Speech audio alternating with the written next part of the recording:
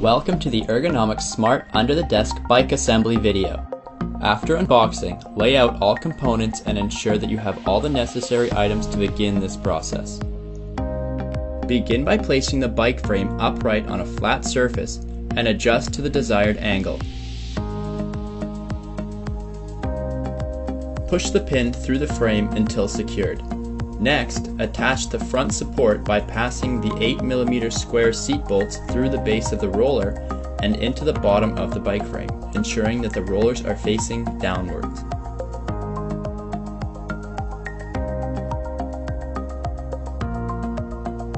Next, place the washers over the bolts, hand tightening the nuts.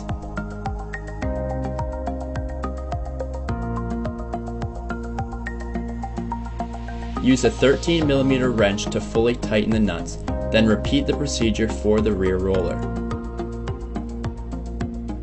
Lastly, place the bolt cover over the back roller.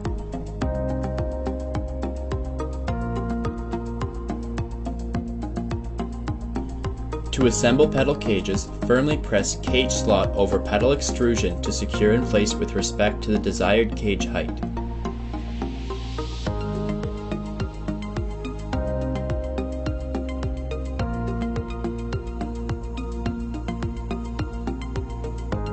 Attach the pedals by inserting the threaded end into the crank and hand tightening.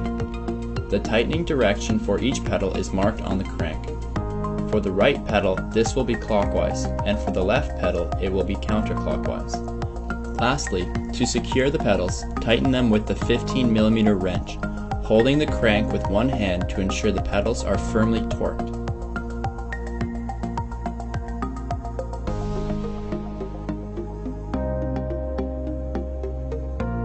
To attach the seat cushion to the seat support frame, invert the cushion and align the three protruding bolts on the bottom with the seat support.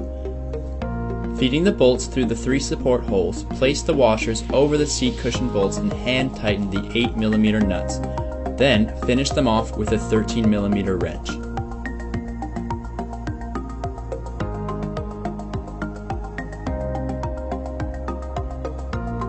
Lastly, Insert the seat support frame back into the bike frame, adjusting to the desired height, and fasten the threaded knob into the rear of the bike frame to secure the seat position.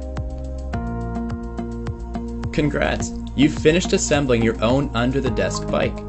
Next, make sure you download the Ergonomyx app to begin moving with Ergonomyx.